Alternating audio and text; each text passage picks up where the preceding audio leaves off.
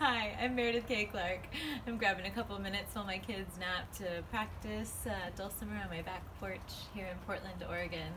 Um, I'm really excited to bring my concert Joni Mitchell's Blue to the Tower Theatre in Bend on June 29th. In this concert, I play Joni Mitchell's iconic album from beginning to end.